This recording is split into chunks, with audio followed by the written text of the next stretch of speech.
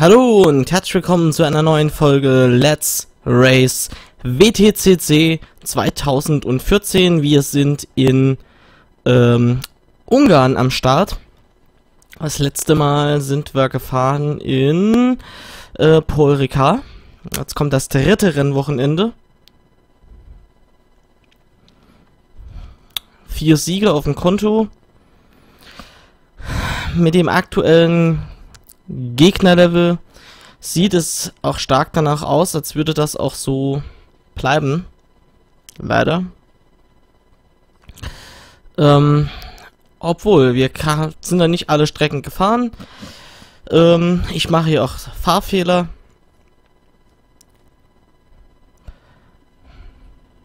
Und es passt mir absolut nicht, den Zeitplan nochmal von vorne zu beginnen.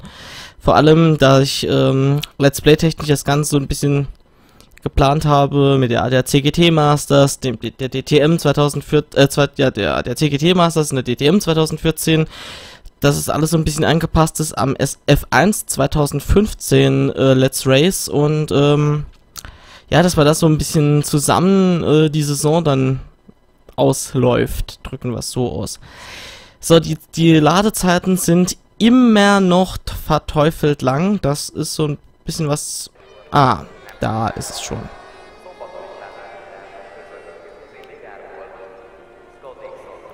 Ähm... Ja, gut. Ergebnis letzten Rennen ist jetzt nicht so wichtig, dass die äh, Punkteplatzierung hier schon 100 Punkte vor Lopez 54, Takini 52. Wo liegen die anderen äh, Citroën-Fahrer? Die liegen auf Löb auf dem siebten und die beiden Kyongma auf Position 10 und 11.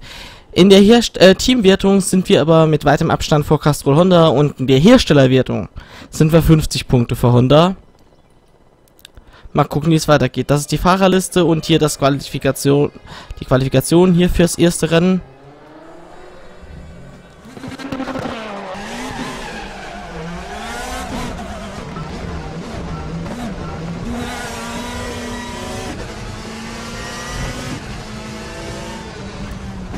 So, herzlich willkommen auf dem Ungaroring, dem Kurs, wo auch die Formel 1 unterwegs ist. in der Nähe von Budapest in Ungarn, eine Traditionsrennstrecke. Das heißt, wir werden sie in diesem Let's Race auf jeden Fall, äh, diesem, dieser Let's Race-Saison, Anführungsstrichen, auf jeden Fall nochmal sehen. Mit der Formel 1.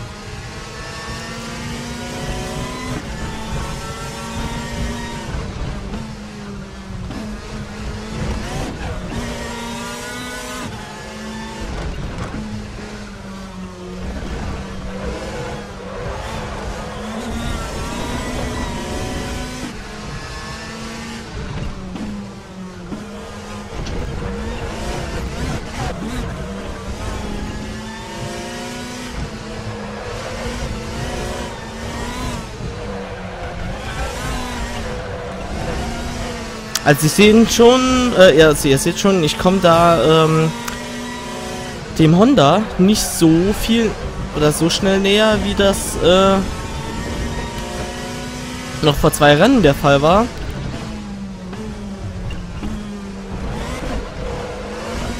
Okay, jetzt in dem Streckenabschnitt aber dann zügig.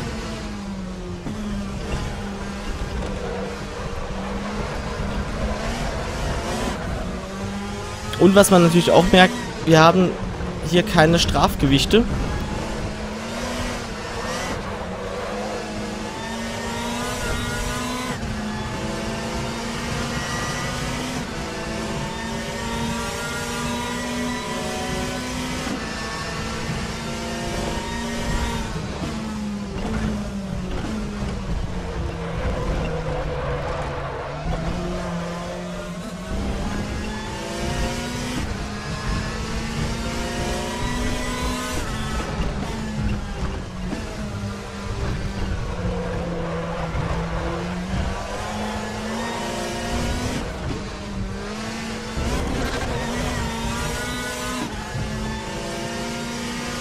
Citroën macht schon Spaß äh, zu fahren.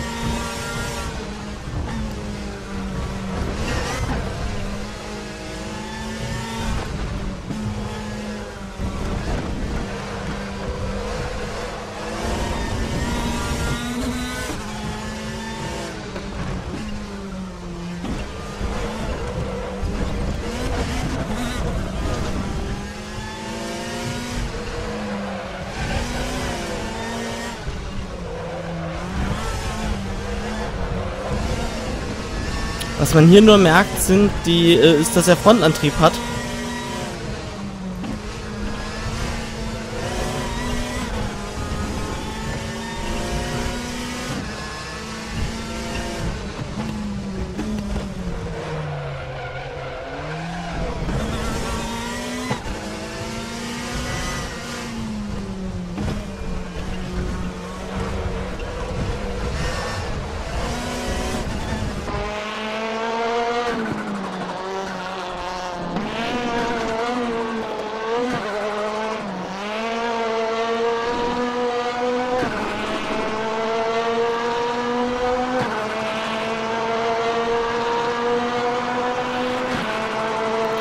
Ein bisschen von außen das Ganze betrachten.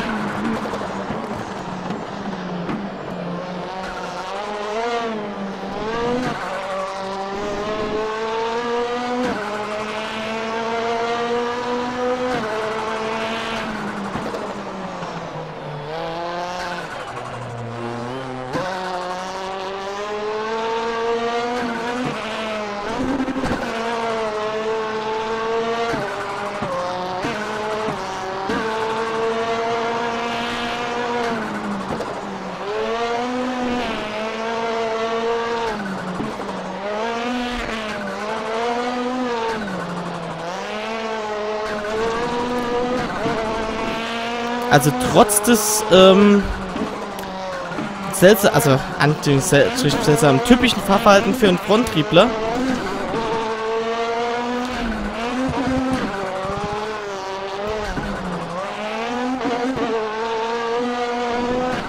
Fängt er sich doch recht selbst, äh, recht gut von selbst ab und ähm, sprich relativ gutes, äh, äh, relativ, also ein sehr gutes Fahrwerk.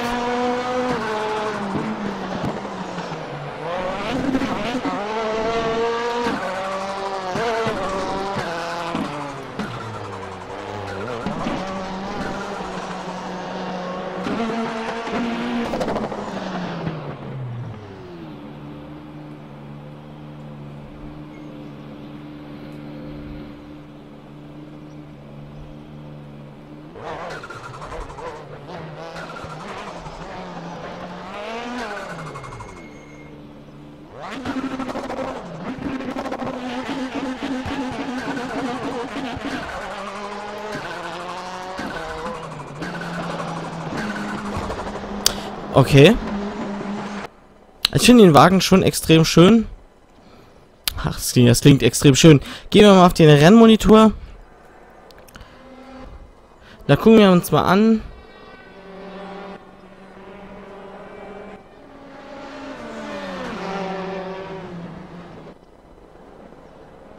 Sebastian Löb verliert also seine Zeit in diesem Qualifying durch James Thompson.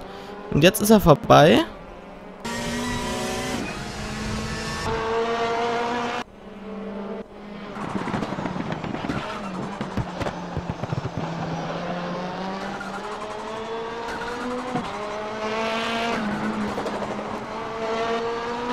Da schöne Kameraeinstellungen dabei.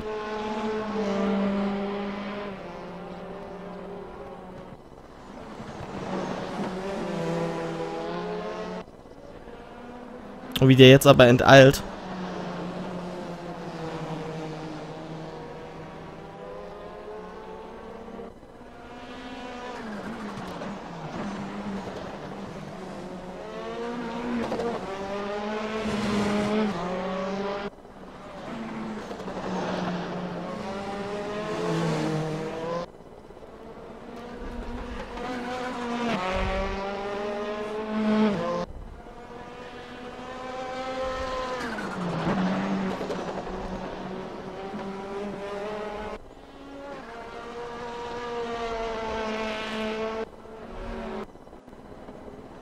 Hier wird erstmal einem bewusst, wie groß der Vorsprung jetzt innerhalb einer Runde auf James Thompson ist.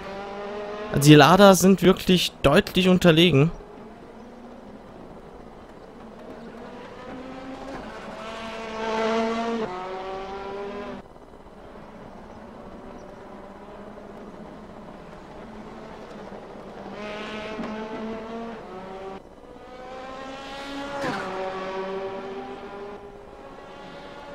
Jetzt ist er schon Dritter.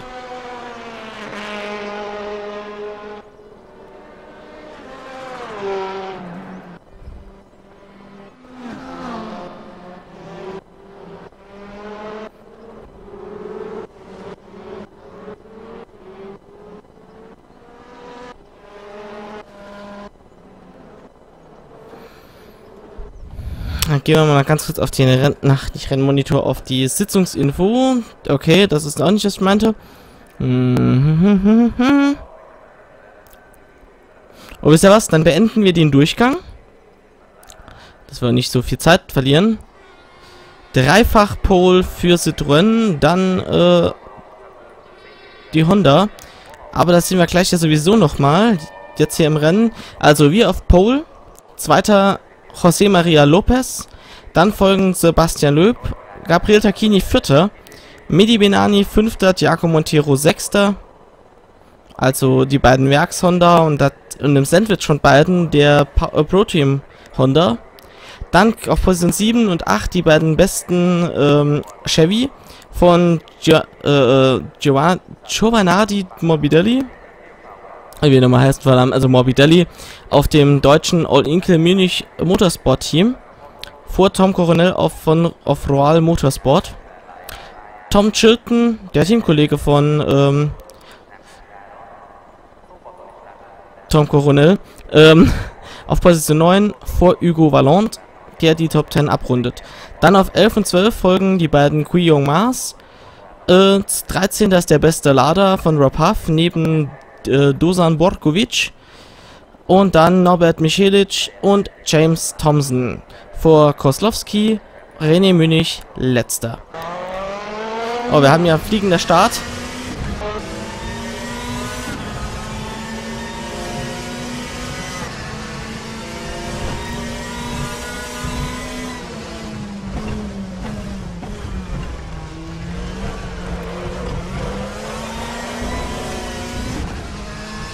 Ja, und wir ziehen gleich mal weg.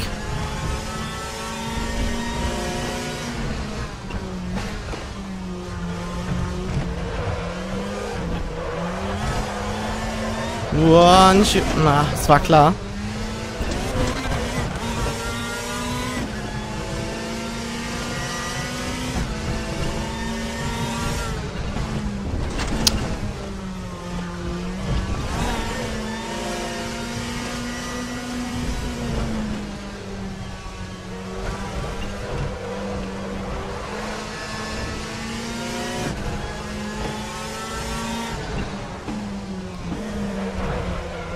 Oh, nicht querstellen, nicht quer... Ah, es war klar. Und Lopez ist jetzt... Hat er zum Glück nur ein bisschen aufgeschlossen gehabt. Das scheint jetzt aber unser Streckenabschnitt zu sein.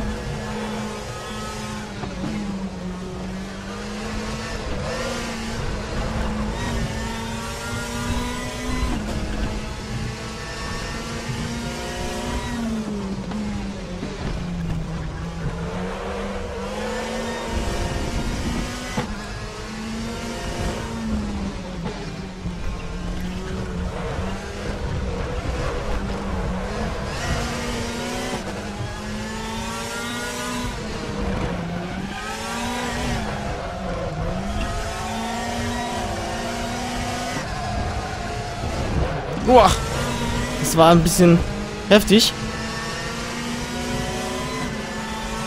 Trotzdem war die Rundenzeit ungültig.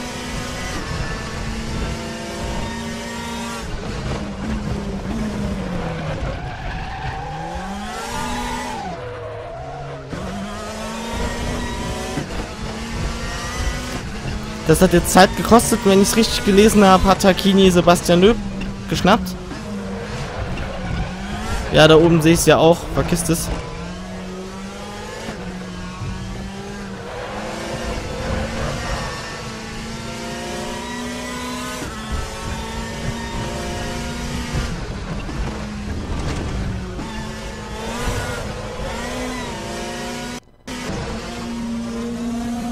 Och nee. Game crashed.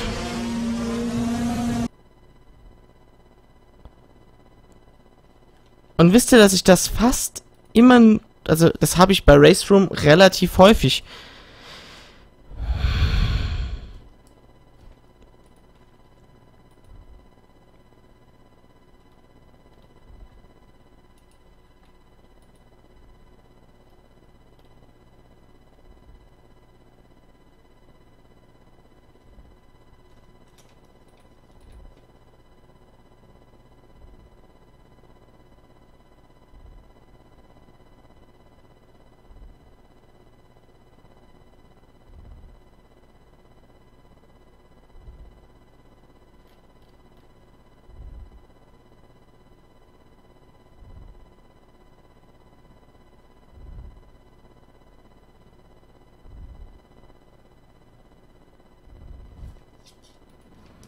Hm.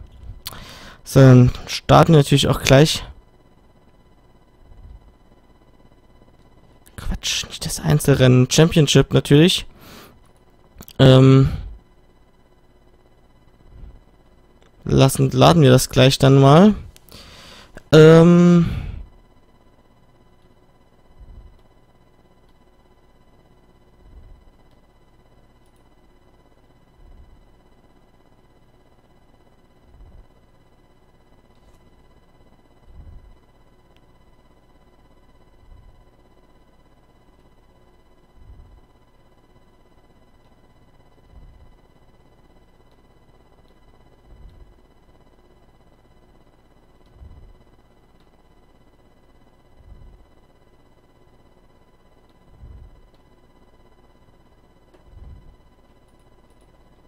Ah, es ist schon soweit. Auf ein neues mit dem Rennen.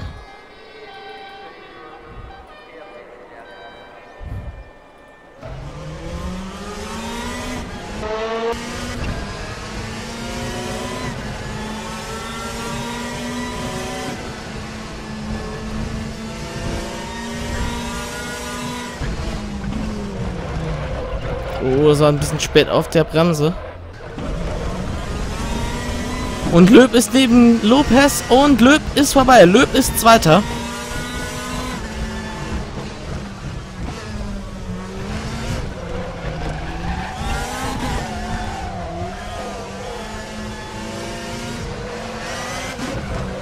Und Lopez muss jetzt auf Takini aufpassen.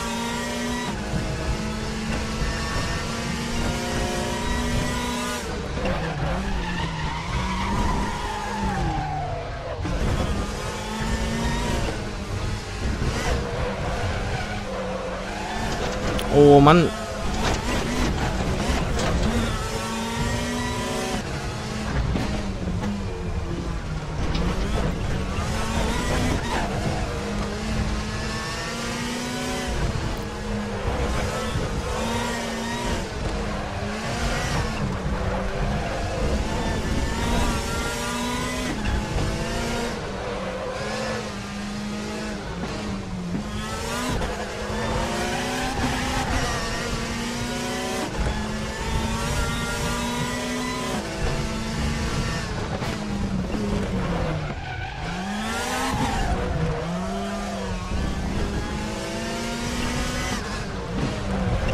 Nur auf den Körper angebremst.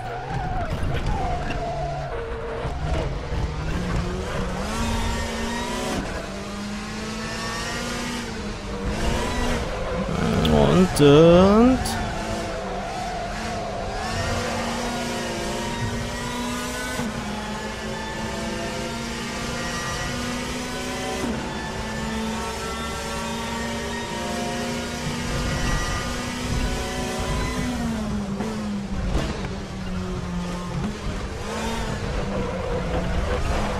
So, gehen wir hier auf Nummer sicher.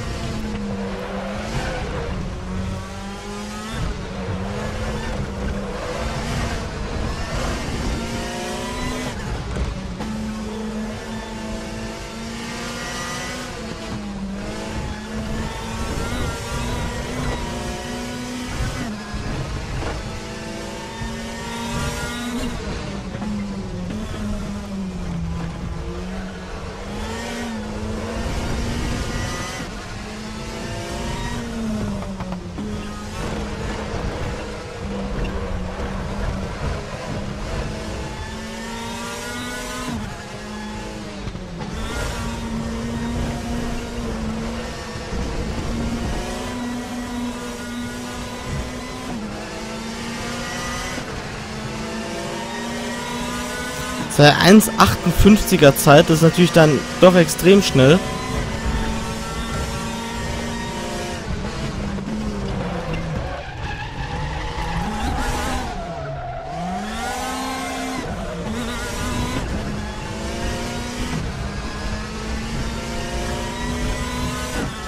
Wir es hier mal noch ein paar Mal quer.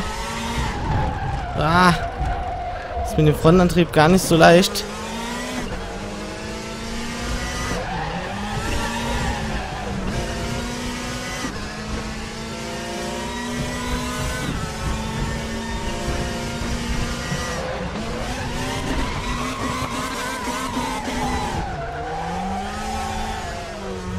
Okay, da haben wir es jetzt deutlichst übertrieben.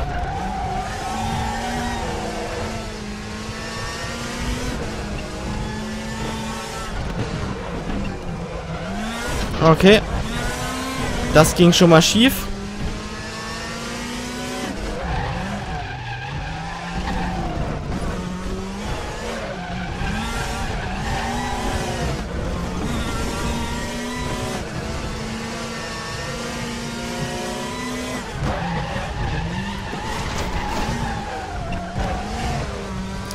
Ging auch schief.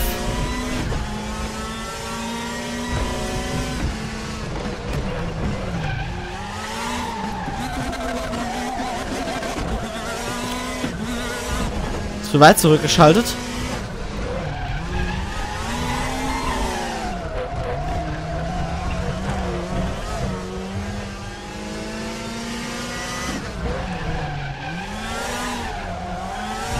Das war auch ein ziemlich schlechter Versuch.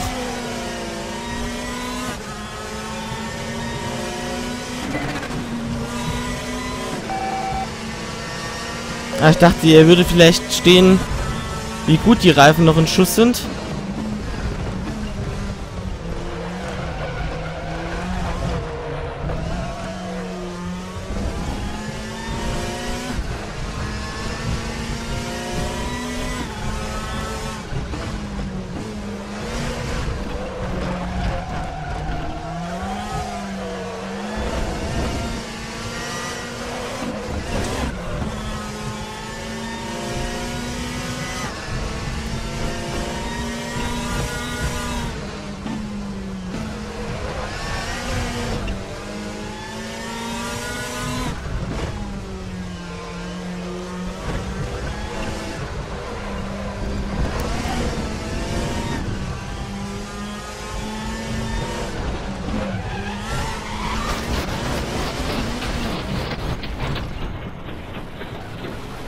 Okay, da haben wir jetzt richtig Zeit liegen lassen.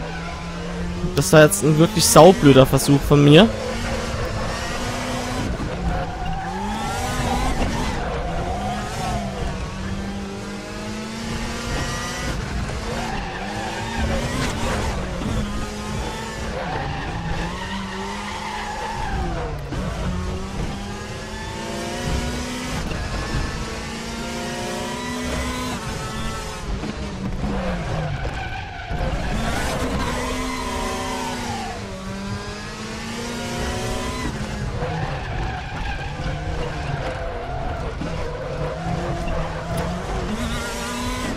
Ich muss nachher mal von außen sehen, wie das Anstellen der Kurven von außen so wirkt.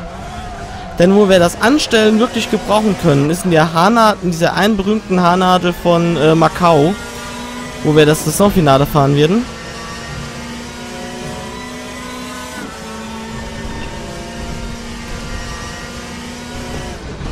Oh. Viel zu spät gebremst.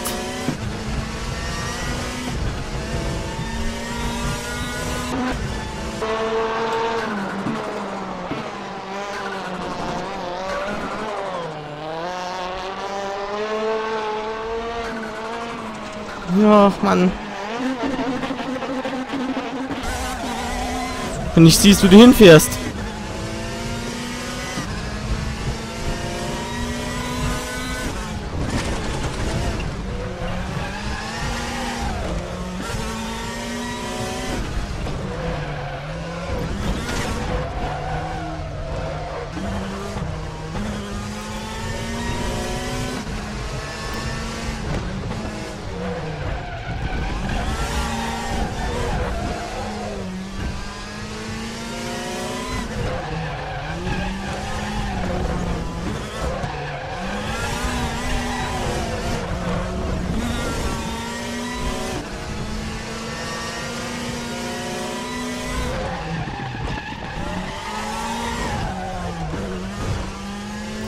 So wie jetzt zum Beispiel.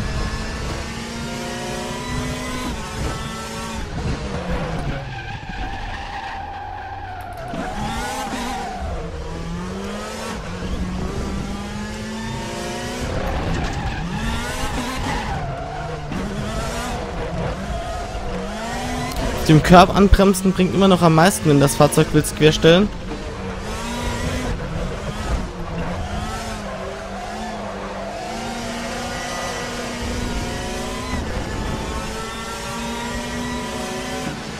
So, ich schätze, wir werden jetzt noch mit dieser Runde hier drei Runden sehen.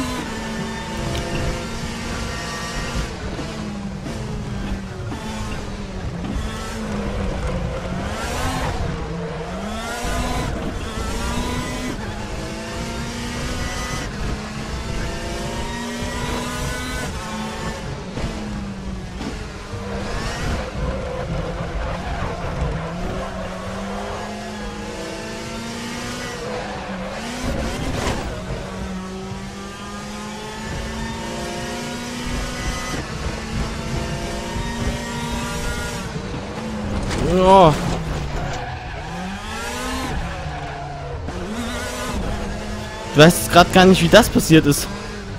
Hab ich denn da das Auto eingestellt? Bitteschön. So, noch drei, also noch vier Minuten.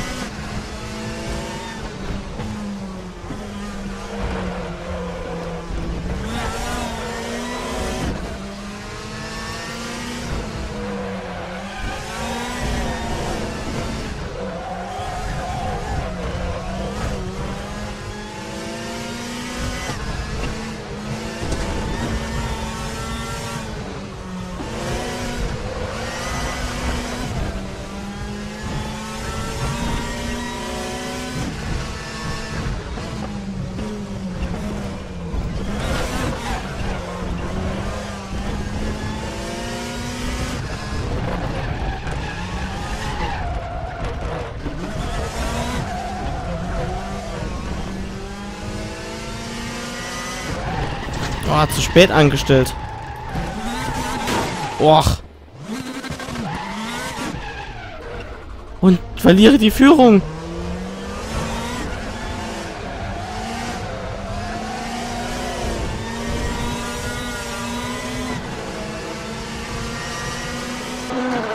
Oh, das, der Wagen hat ziemlich Schaden mit sich gezogen.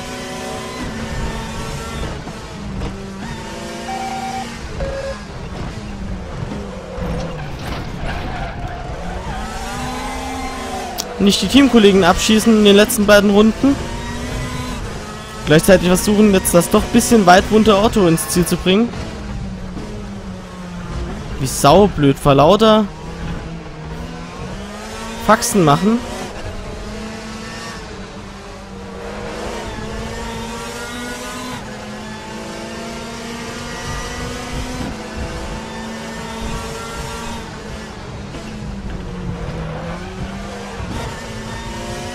Außenrum an beiden vorbei. Da versucht Lopez gleich wieder ihnen an Löb und auch Takini ist nicht weit.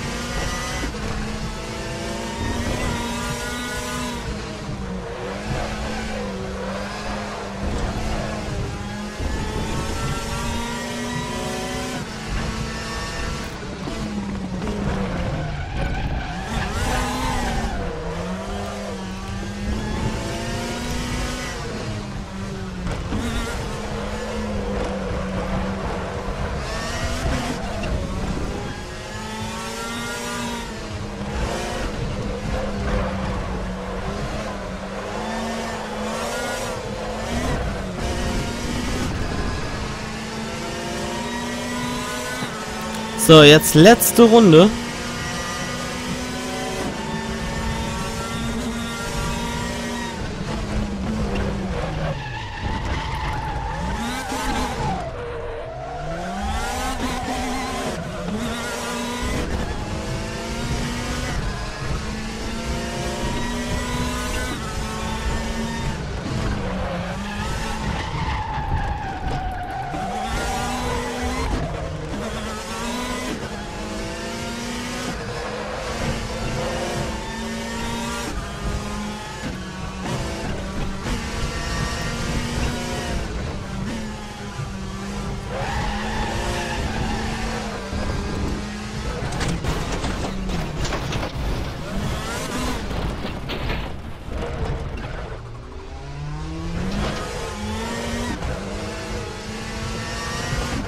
Das war auch wieder so ein unnötiger, unnötiger Abflug.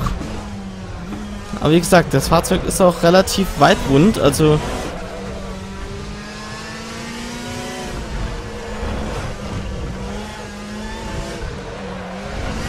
Zu gut ist das Fahrverhalten jetzt auch nicht mehr.